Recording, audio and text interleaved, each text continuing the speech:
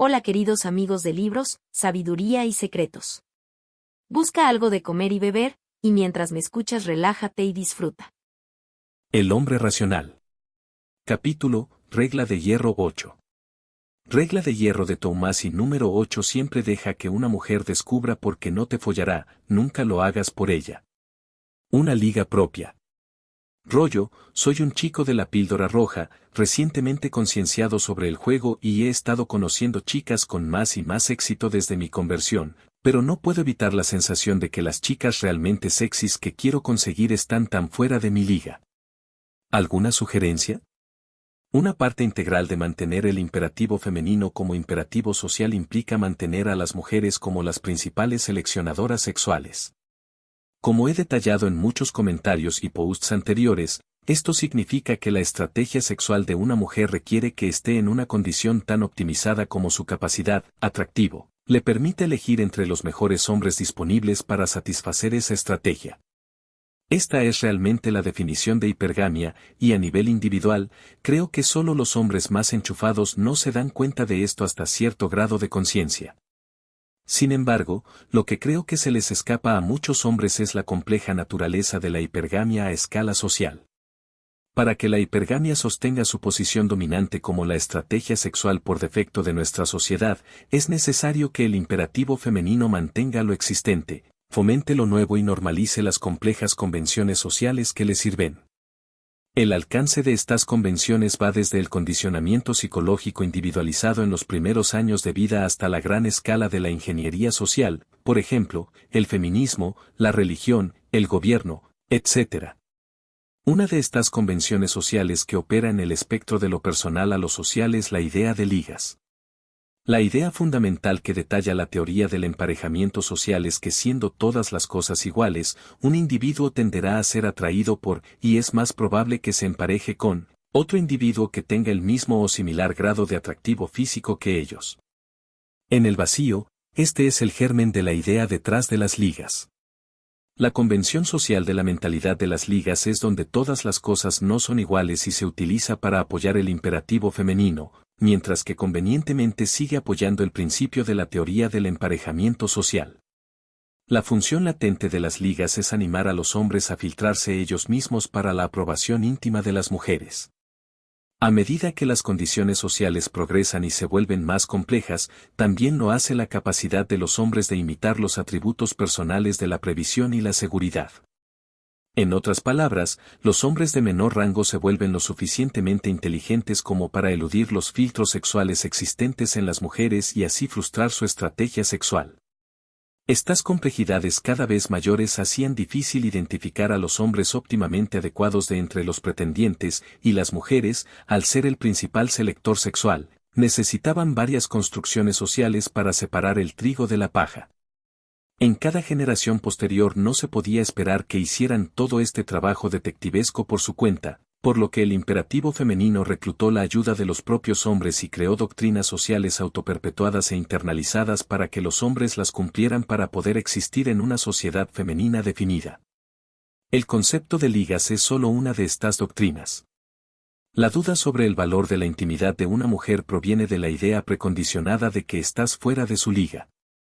La idea optimista del club de apoyo de que si crees que no puedes, tienes razón es cierta, y el entusiasmo ilimitado puede superar algunos obstáculos, pero para abordar el origen de la enfermedad es más importante preguntarse por qué te han enseñado a pensar que no puedes. Mucha de la ansiedad de acercamiento viene de tu propia autoimpresión, soy suave, caliente, acaudalado, divertido, seguro, interesante, decisivo. Bien vestido, lo suficiente para ganarme la atención de HB9S? ¿Qué tal un HB6? Nuestro gran peligro no es que apuntemos demasiado alto y fallemos, sino que apuntemos demasiado bajo y tengamos éxito. No estoy debatiendo la legitimidad de los estándares de evaluación del mercado sexual, es una dura y a menudo cruel realidad. Lo que realmente estoy tratando de hacer es abrir los ojos sobre por qué crees que solo mereces un HB7. La apariencia cuenta mucho, como el juego, la riqueza, la personalidad, el talento, etc. Pero es tu autoestima acertada, o eres un participante voluntario en tu propia autoevaluación en el SMP cortesía de la mentalidad de la liga que el imperativo femenino te hace creer. La economía de la liga. Como ya he señalado, el propósito de fomentar una mentalidad de liga estratificada en los hombres sirve para filtrar autónomamente lo inferior de lo superior para que las mujeres puedan elegir, sin embargo, también funciona para aumentar la valoración de lo femenino como mercancía. Como cualquier gran entidad económica, el imperativo femenino vive y muere por su capacidad de inflar su valor en el mercado. Esencialmente el imperativo femenino es un comercializador. Una de las tristes ironías de este siglo, y del último, es que el imperativo femenino ha intentado basar la valoración del SMP de la mujer en una importancia colectiva en detrimento del SMP de la mujer individual. Para los hombres esto se invierte, la valoración sexual de un hombre se individualiza principalmente, mientras que los hombres como género colectivo están devaluados en el SMP. Lo que quiero decir con esto es que, como entidad colectiva, la sexualidad de la mujer no puede permitirse ser percibida como nada menos que el premio más valorado. Si todas las vaginas se consideran el estándar de oro, entonces el valor por defecto de la sexualidad de los hombres siempre será menor. Por esta definición, los hombres, en general, están fuera de la liga de las mujeres. Para mayor consideración, asumamos que los hombres promedio, la mayoría con diferentes grados de beta, son bendecidos con el regalo milagroso de las atenciones sexuales de una mujer promedio.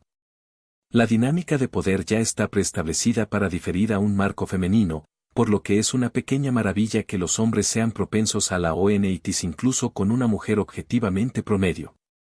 Esta es la intención del esquema de la liga, predisponer sin objetividad a los hombres a comprometerse con mujeres que bajo condiciones objetivas no podrían disfrutar de la misma selectividad. Se ha postulado que para que exista una relación saludable el hombre debe ser reconocido por la mujer por estar uno a dos puntos por encima de su propio SMV. Esto es una tarea bastante difícil considerando el énfasis del imperativo femenino en la sexualidad de la mujer, que es la más valorada por defecto. Esto sin mencionar las autoevaluaciones exageradas de las mujeres actuales debido al auge de los medios de comunicación social. Jugando la liga.